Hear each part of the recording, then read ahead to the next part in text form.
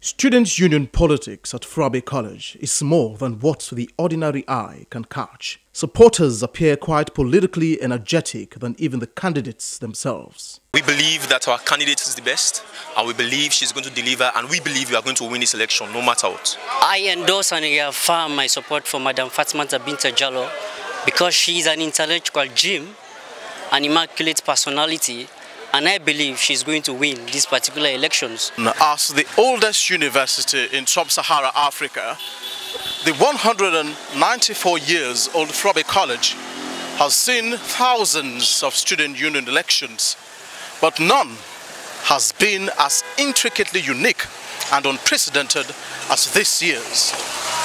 For the first time in these glorious four walls of the Athens of West Africa, Two female presidential candidates from the same class and department have sprung up for the elections. But will this pay tribute to male political dominance in student union politics on Fourah Bay College? Each presidency at Fourah Bay College manages the affairs of the general students' body for a period of one year. But holding such a prestigious title especially for a lady, will be history broken. Hence, for the first time, two female candidates are contending for the position.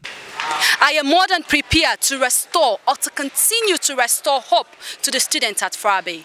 The issue of transportation, that of inadequate classroom, grade issues, these are not new issues. Each and every student knows that these are the fundamental problems we face at the university. But solving those problems using the right mindset, the adequate leadership quality is very fundamental.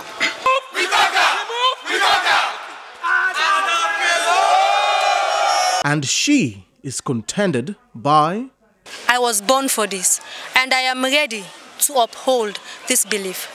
They say there are two important days in a man's life.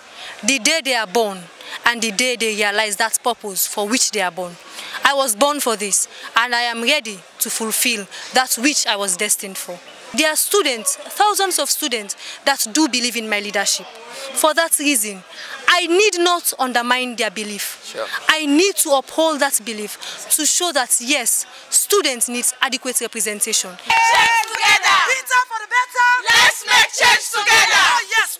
we that change. Oh yes! What's concerning at this point is how can tranquility and civility be injected in the electoral process, especially for a college whose student union politics has long been marred by violence and brutality. As someone who had risen through the ranks at Fourah Bay College to a point that she even became president of the campus, what tangible piece or pieces of advice will you proffer or give to this year's presidential candidates that will, in a way, breed peace and tranquility in the electioneering process? In elections, one is expected to win. Both of them would not win. And there is life after politics.